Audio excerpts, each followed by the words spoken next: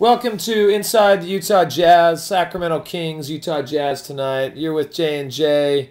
We are definitely on the Belt High Dribble Network. Just wanted to make a couple comments tonight. Jay, what did you think of the game?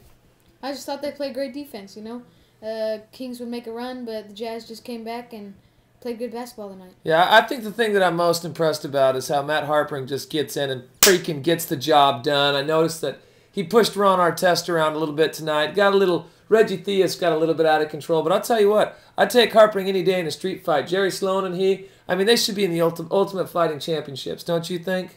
He's just a freaking white boy. You know what I'm saying? I, I, I think we're going to the NBA championship, don't I, you? I think so too. Yep. We're Stay all tuned. healthy right now, and we're we're doing pretty good. Now, little Jay, what's our next game? Who we playing next? I think our next game's uh, Sunday. Yeah, uh, Sunday, and then we play Monday. All right, So so we got a little games. doubleheader coming up, and uh, Deron Williams better make the All Star team because if he doesn't, I think we're gonna have to come down with a hammer. That's uh, inside the Utah Jazz with J and J. We'll check you out later.